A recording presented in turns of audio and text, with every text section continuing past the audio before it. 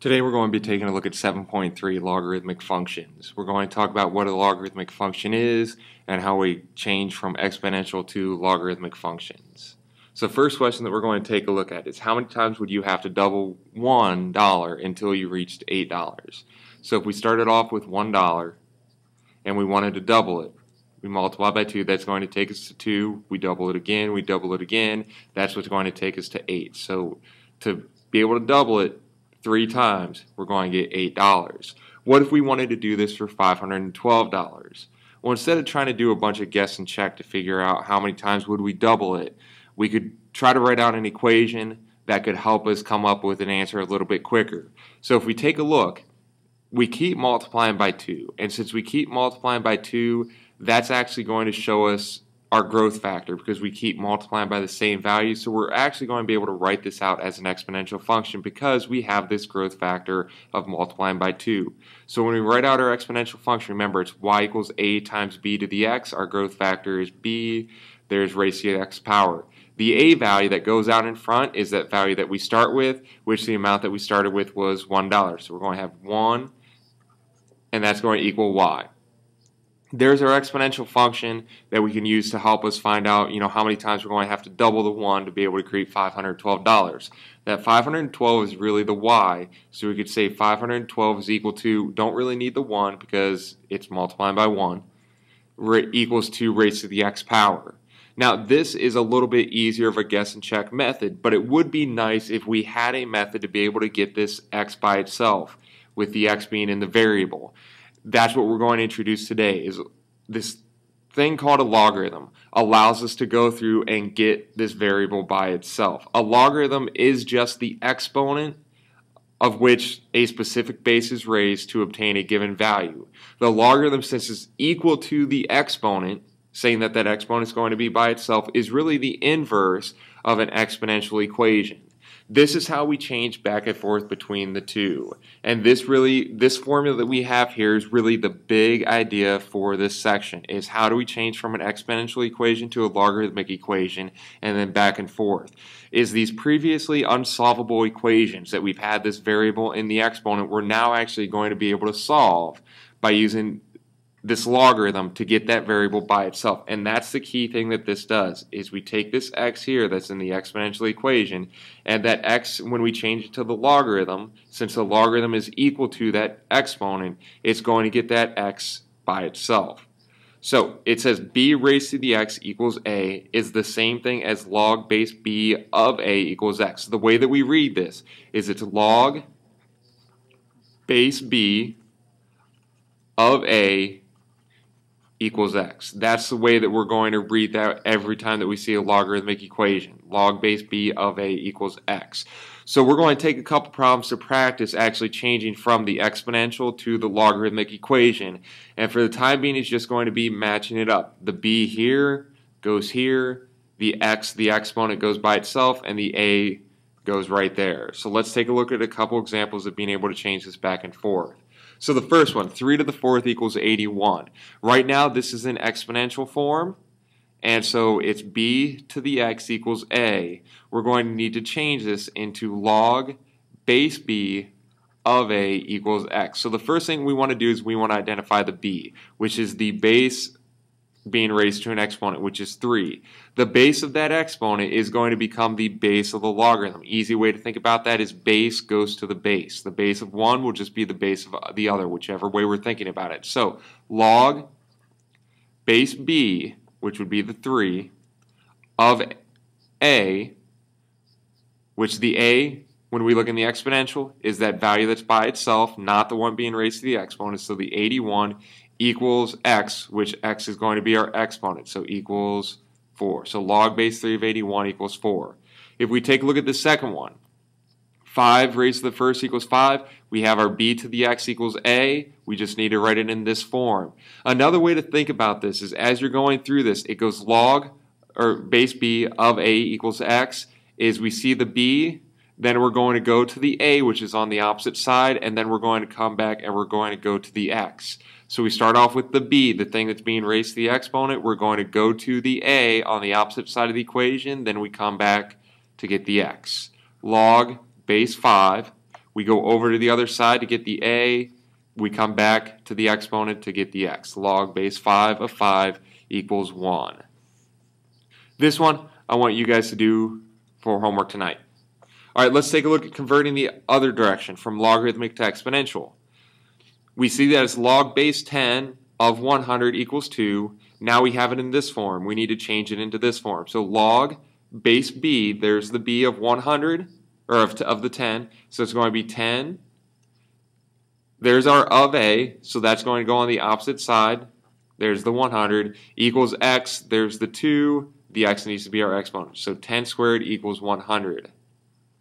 We can do the same thing here. And just how we did this here where it was b going across to get the a and coming back to get the x, that same format follows here is b go across to be able to get the x, which would be the exponent going into exponential, come back to be able to get the a, that's the thing that's going to be by itself. So there's our base b, so 8. We go across to be able to get that exponent now to the 0 equals we come back to be able to get the 1. 8 to the 0 is equal to 1.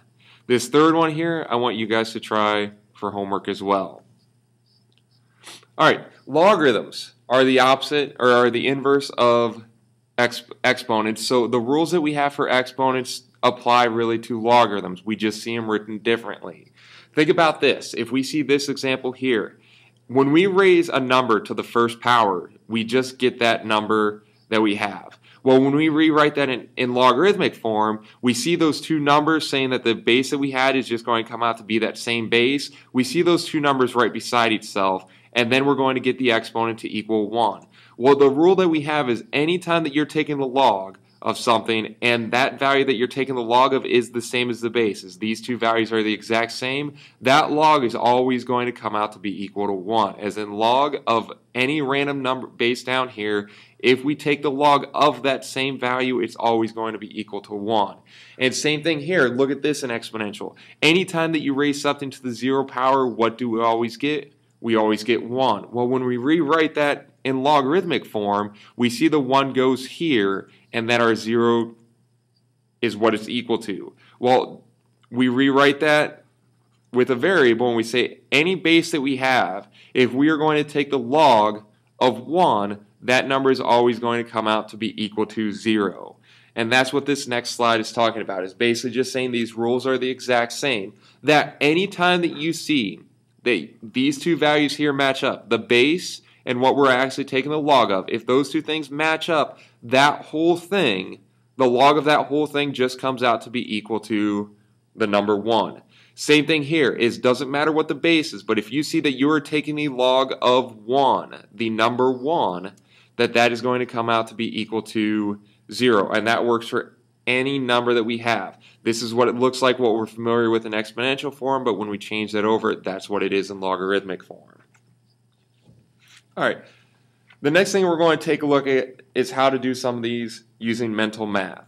Is a logarithm with base 10 is called the common logarithm. It's the common logarithm, it's the one logarithm that we can actually type in on our calculators. But the other thing is that when we don't see that actual base right here, we don't see that base, that means that it's going to be base 10 as in 10 is the understood base when you don't actually see a number.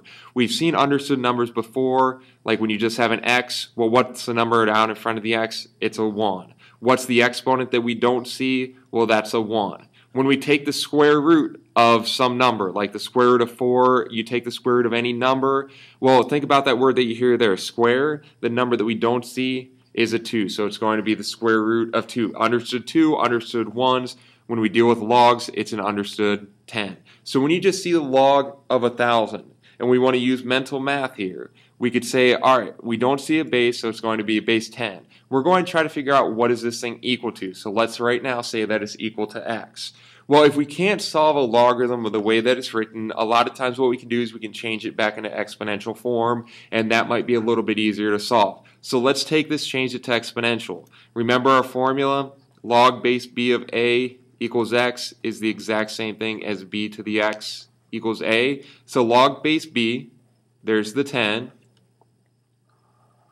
raised to the x, which in this case actually is an x, equals what we're taking the log of, which is equal to 1,000. So we have 10 raised to the x equals 1,000. Well, what number do you have to raise 10 to to be able to get 1,000? Well, we know 10 to the first is 10, 10 to the second is 100, so 10 to the third is it going to equal 1,000. That means that x is going to be 3. So the log base 10 of 1,000 is equal to 3. Let's take a look at example B here. Log base 4 of 1 fourth. Now we actually have a number as our base. We don't know what this is equal to, so we could say it's equal to x. That's 4 raised to the x is going to equal 1 fourth. Well, if we take a look, we see a 4 and a 4. But the problem is this 4 is in the numerator, this 4 is in the denominator. If you remember what we talked about the last couple sections about negative powers, is if you take something and you have a negative power to it, that that's just going to take what the base is and it's going to flip the base. We're going to take the reciprocal of the base, as in 1 over that base raised to the positive power. So raised to the positive first. Well, here all we need to do is take a look at that 4 and say we need to flip that 4 to be able to get this one. And so when we flip it, to be able to get that 1, 1 over that number is if we flip this, it's going to become 1 over 4. Well, since we just have to flip it to get that 4 down in the denominator, we already have a 4 in the denominator, we don't need to change that 4 anymore to get the 4. All we have to do is flip it. All we need then is just a negative 1. So x is going to be negative 1. And we take a look at this third one. Log base 10 of 0.00001. So log base 10 because we don't see the 10 and we're going to do the same exact thing. We're trying to find out what it's equal to so we say x. This is going to be 10 raised to the x, power should equal 0.00001. Now, when we have that there, this 0.00001 is, we want to change this into a fraction. That's going to help us actually see the 10. Well, the first decimal place is going to be tenths. This is hundredths, thousandths, ten thousandths, hundred thousandths. So this is actually 1 over a hundred thousand. That's what the same thing as 10 to the x is. That's the same decimal. Well, 100,000 is just a power of 10. We already said 10 to the third was 1,000, so to the fourth would be 10,000, to the fifth would be 100,000. So that's 1 over 10 to the fifth. We see the 10, we see the 10, but this 10's in the numerator, this 10's in the denominator, so we just have to make that 110 go down to the denominator with that 5. To flip that base, we need a negative exponent, so we see the 5. We're just going to need to make this negative to be able to get it down to the denominator. That means x equals negative 5. This last one here, I want you guys to try for homework. The last problem that we're going to take a look at is talking about being able to graph. If you want to try to graph an exponential function, what you can do is you can graph, or to try to graph a logarithmic function, what you can do is you can graph the exponential function because those two things are inverses. So if we can graph the one, we're going to be able to graph the other because we know how to deal with inverses. So let's take a look at this. This is going to be the original function that we're trying to graph, 3 to the x power. Here's the numbers that we're going to use, so let's just make a table. Our x's are going to be negative 2, negative 1, 0, 1, and 2. We just need to plug those in to be able to get the y's. Let's start with the negative 2. 3 to the negative second. We have that negative exponent, so that means that we need to flip that base. We need to flip the 3, so it's going to be 1 over the 3 raised to the positive second power, that's 1 ninth. We do the same thing with the negative 1, we get 1 third. Anything to 0 power is 1, 3, and then 9. We plot those points, negative 2, 1 ninth, negative 1 1 third, 0 1, 1 3, and 2 9. And remember, this is an exponential function, so it's going to get closer and closer to the x-axis, but it's not going to cross the x-axis. And so there's our graph. When it doesn't actually cross that x-axis, it's getting closer and closer to it. What's that word that we use to call that? We call it an asymptote. And since it's the horizontal line, which is the x-axis, remember horizontal lines are y equals, and the value that it goes through right there on the y-axis is 0. So we have an asymptote at x equals 0. To find an inverse function, remember, all you have to do to find inverse is literally switch the x and the y. So we can do that in the table to get our table, but for the function, we just want to flip, switch the x and the y. So here's our y, there's our x. We switch them, x equals 3 to the y. There's our inverse. Now we just have to solve for y. Remember, to get the exponent by itself, we need to change it into a logarithmic function. So we start off with our base, which is on the other side now. It's going to be log base 3 of this, so of x, is going to equal the exponent, which should be by itself, equals y. There's our inverse function. To graph the inverse function, we could try values for x, but we can really just take this table and go through and switch the values in our table. So the 1 ninth, 1 third, 1, 3, 9 will become the x's. And the, the nice numbers, negative 2, negative 1, 0, 1, and 2 will become the y's. We plot these, 1 ninth, negative 2, 1 third, negative 1, 1, 0, 3, 1, and 9, 2 will become those points, and we go through, we draw this. Just as the exponential function was getting closer and closer to the x-axis, our logarithmic function, if we take a look at it, it's getting closer and closer to the y-axis. So this one is also going to have an asymptote, but this time the asymptote is a vertical line. We write out our horizontal lines as y equals something. The vertical lines are going to be x equals something, and it goes through that same value on the x-axis, so x equals 0. So we actually have an asymptote for both of these functions now. The domain and ranges, just from last section we were talking about, we have to write out the domain and ranges with that set builder notation. Let's talk about our domain for the actual function for this one. Our domain, we're talking about the x's, so we need all x's such that what's going to happen?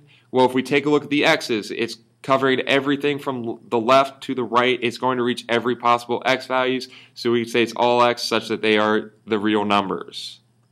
And then for homework, I want you guys to go through and I want you to name the range for the, for the function, the domain, and the range for the inverses.